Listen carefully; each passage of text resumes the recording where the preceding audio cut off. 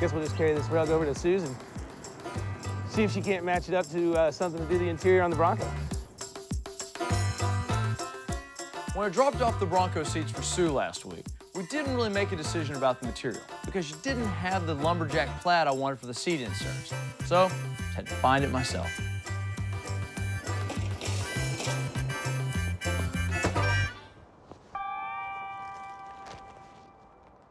Hey, Sue. Hi.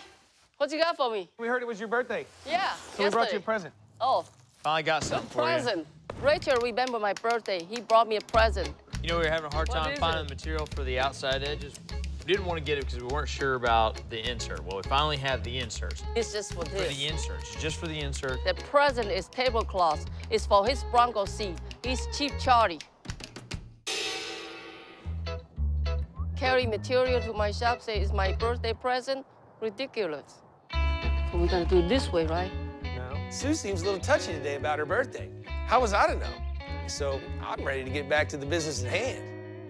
We settled on tan for the rest of the seat. I really wanted kind of governmental park ranger look for the truck. Tan's the obvious choice. It's because of how thin this material is.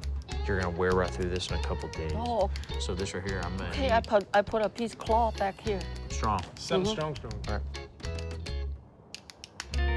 So now I'm in the doghouse in this whole birthday thing, and I think she's gonna hit me like high on the price. And I don't really even know why she's complaining. I mean, I'm giving her business, and that's what old people need. So how much?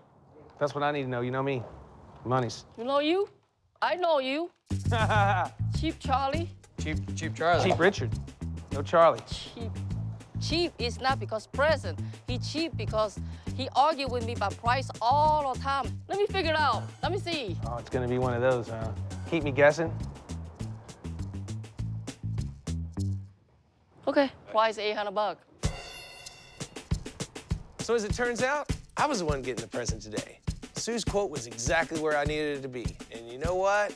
You don't look a gift horse in the karate chopper. 800 bucks.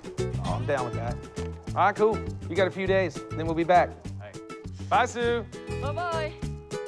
You know, Okiki did a pretty good job on this. It looks like it. I don't know if it's worth anything or not. I mean, I guess we just chunk it on the net. I mean, at the end of the day, if it's worth even 50 bucks, it's 50 bucks more than we had.